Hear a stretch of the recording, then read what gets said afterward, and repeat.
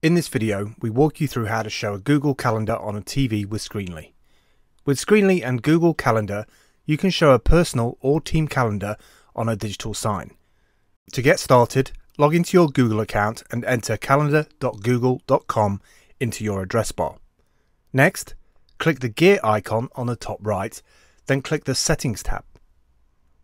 On the left hand side of the screen, under the Settings for My Calendars section, click on the individual calendar that you would like to share.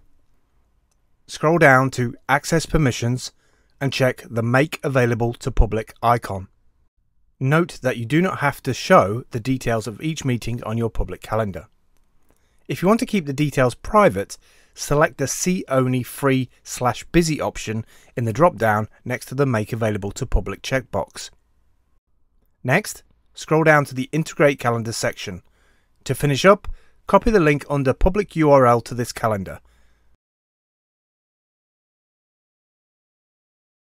Next, go to the Screenly interface and click on Content and click the plus New Content button.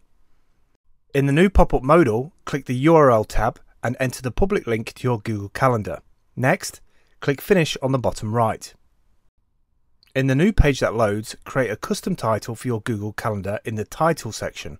Be sure to click Save on the bottom right of your screen.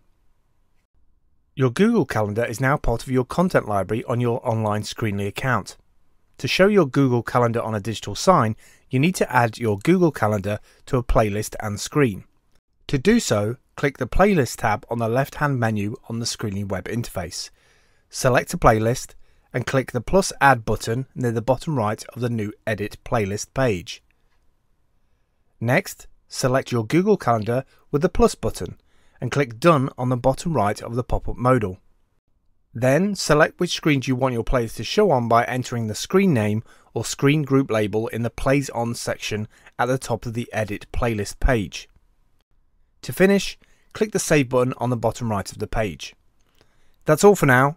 You now know how to show a Google Calendar on a TV with Screenly. To get started with Screenly, sign up for a free 14 day trial on our website at www.screenly.io.